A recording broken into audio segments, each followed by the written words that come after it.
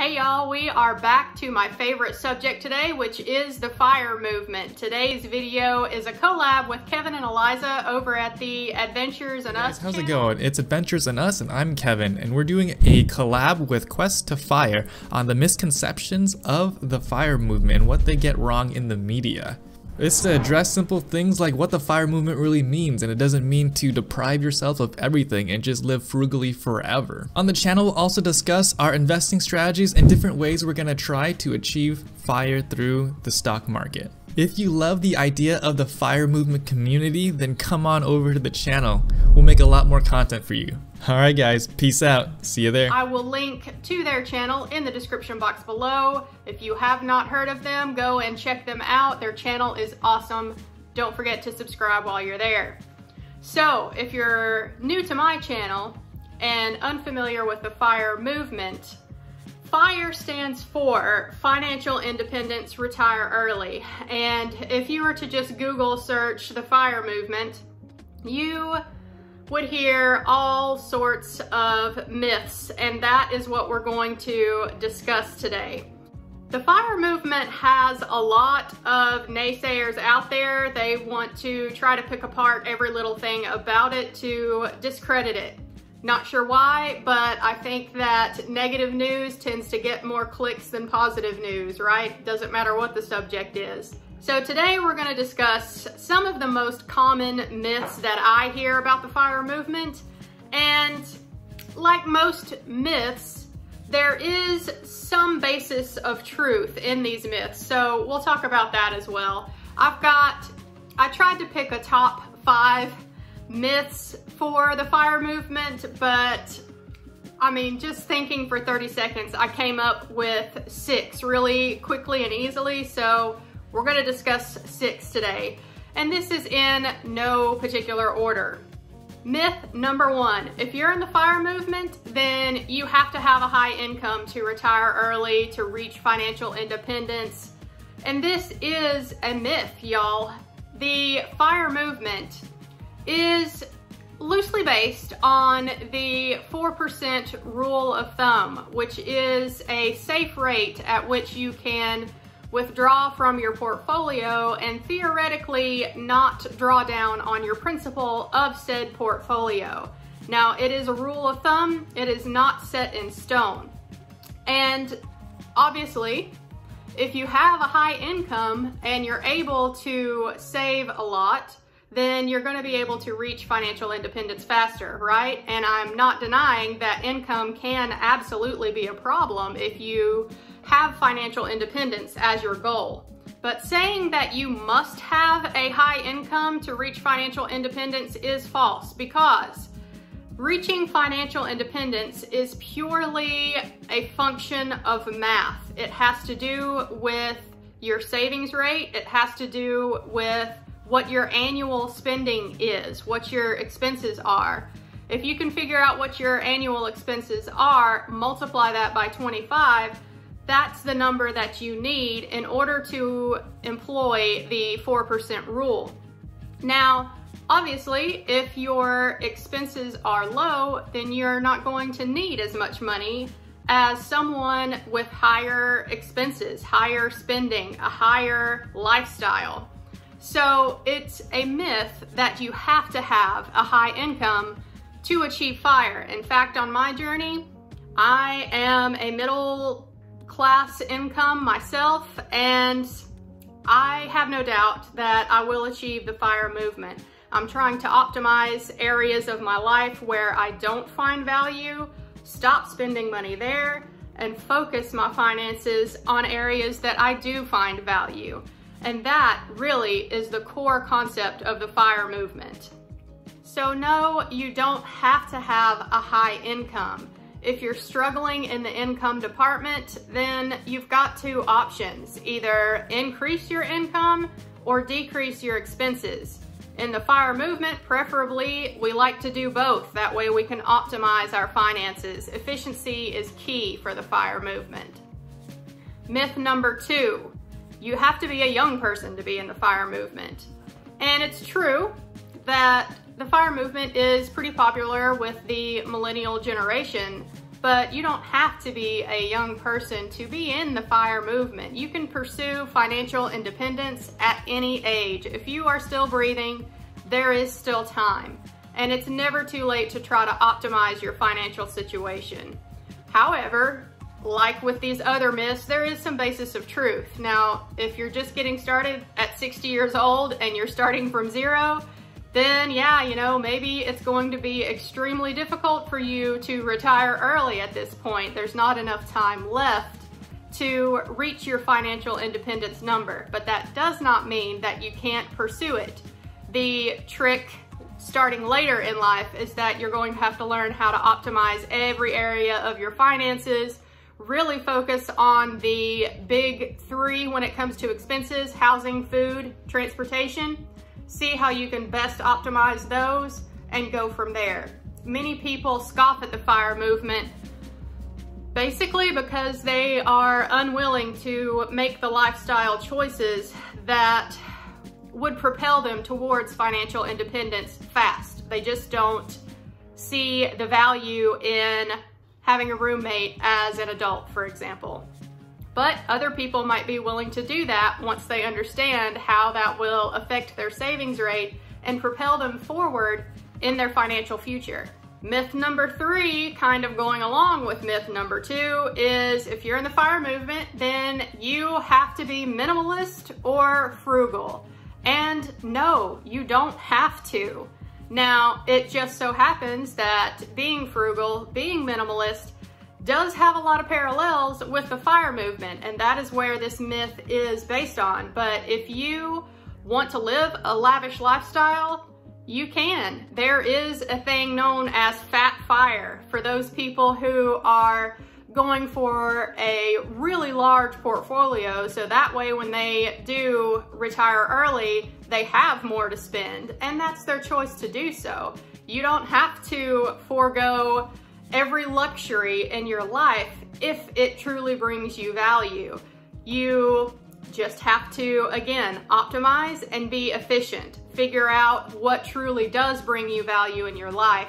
Focus your finances on those things moving forward. Efficiency is key.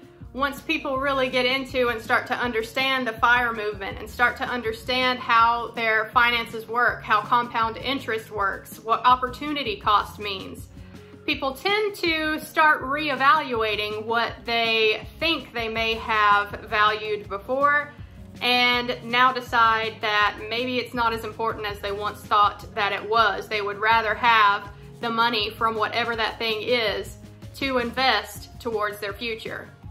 Myth number four, if you're in the fire movement, then you have to use credit cards. We're all about the credit card reward points. We're all about travel hacking. And yes, this myth is also based in some truth. There are tons of people in the fire movement who use credit cards for the cash back rewards. Yours truly does that. And there's a lot more people in the fire movement who use credit cards for travel hacking to get free travel.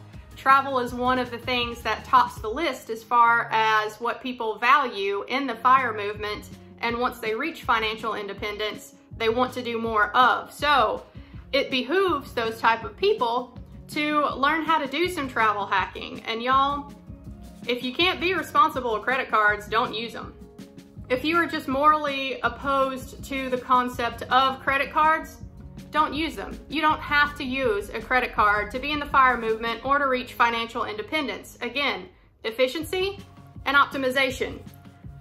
People in the FIRE movement will use a credit card for cashback rewards, like myself, to just buy things that we normally would, to pay our monthly bills. And if I get one, two, three percent cash back, for just putting these bills and usual monthly expenses on a credit card, then yes, I'm gonna take advantage of that. It doesn't add up to a ton for me using a cashback card, but uh, last month I think I got $42 back. So that's something, it counts. Myth number five about the FIRE movement. If you're in the FIRE movement, then the only way you're ever gonna reach financial independence is to have some physical real estate properties and become a landlord. There is a heavy argument out there for this path to financial independence. But one thing that I love about the FIRE movement is that there is no one set path for everyone. You get to choose your own story. You get to choose how best to reach financial independence for you as an individual or for your family, depending on whatever your life situation is, wherever you're at in the world. I love that the financial independence retire early community is so diverse. Everyone is working towards financial independence in a little bit different of a way. And you can learn from these people. That is what inspired me to start my channel because y'all, women are underrepresented on YouTube in the FIRE movement. If y'all know of another woman on YouTube who is in the FIRE movement says, hey, my goal here is the FIRE movement. I am working towards financial independence. Let me know down below because there's some couples out there I can think of. There's a lot of guys that I follow in the FIRE movement that are on YouTube, but I think women need to be a little bit better represented. And so that's why I'm here documenting my journey but there's any number of ways to reach financial independence and you don't have to do real estate if you don't want to. I am choosing not to. I have no interest in becoming a landlord. I have no interest in trying to obtain a property manager and keep up with them. The closest I get to real estate is investing in REITs, real estate investment trusts. I have a REIT ETF, Vanguard's VNQ, in my Roth IRA. That's as close as I'm getting to real estate. Now, the argument is that the fastest way to get to financial independence is to go down the real estate path. Get yourself leveraged with good debt and have a lot of rental properties and you will be propelled forward at an alarming rate towards financial independence. So if you're willing to take that risk and go down that path, that's great. It definitely can and does work, but it's not for me. So I will continue with my strategy. And number six, the bonus one. If I had to pick one myth about the fire movement that I hear most often, It'd probably be this one, and that is, if you're in the fire movement, then you have to retire early, or you're not really retired if you earn any income at all. Guys, really, I don't even know where to start with this one.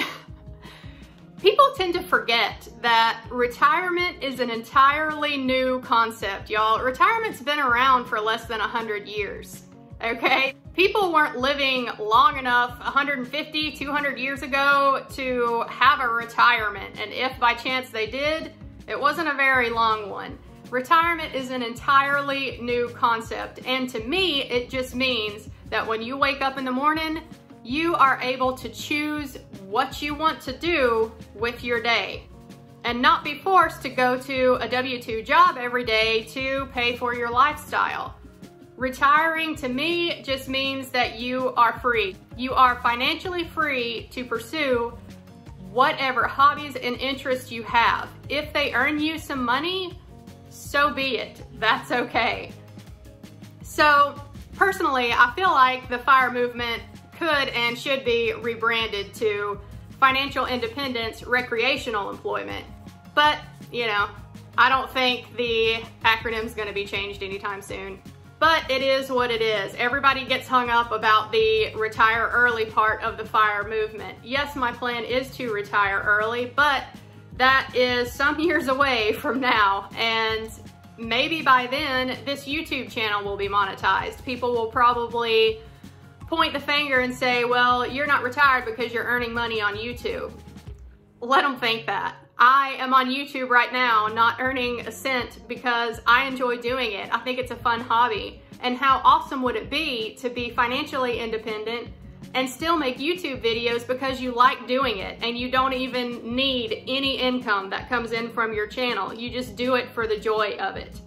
That is retirement to me. You do not have to be retired early and go and sit on a beach and drink your days away. You don't have to retire early and go play golf every day. Who is anyone to say what retirement is exactly? I think that what retirement looks like is completely up to the individual. So if you are opening a business post-retirement and that business earns you money and you're working on it, I still say you're retired, even if you've got a great income from this business. The point is you're able to choose what you want to do. And if that's your passion project and you're able to do it and not really need the income, how awesome is that?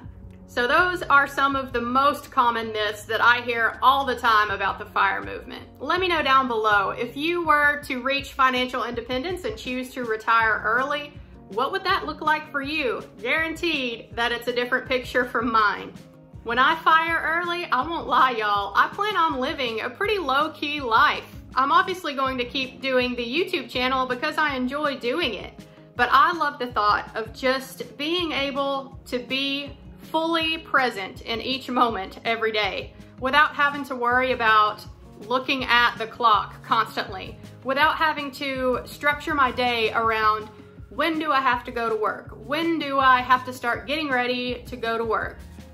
When am I off work? When do I want to go on vacation? When do I need to put in a request at work so that I can get some time off? I look forward to being able to just wake up in the morning and not really have any structure for my day. I can get up, be present, slowly sip my coffee in the morning, head out to the gym, spend a couple hours at the gym if I want to, come back home, actually cook myself a lunch. I don't have to worry about being at a job where my lunch hour is rushed. I can take my time to cook healthy meals. That's another thing that I look forward to. Spending time with my husband, spending time with our dogs, and not having to have my day be structured around what time it is and when do I have to go to work. There are any number of things that I can do around here. I live in Western North Carolina and there are some beautiful hikes around here that I can take and not have to worry about what day of the week it is and whether or not I have to go to work and whether or not I'll have the energy to actually go and do that hike. I will be able to structure my days with whatever feels best when I wake up in the morning. And that seems like living the dream to me. So let me know what you think down below. What would your retire early lifestyle look like? Thanks again to Kevin and Alyssa for doing this collab with me. And again, I will link to their channel in the description box below. Y'all don't forget to see what they have to say about the myths on the fire movement. If you're new to my channel and you liked this video and got some value out of it, then give it a like below and subscribe. I would love to have you and I'll see you in my next video. Bye.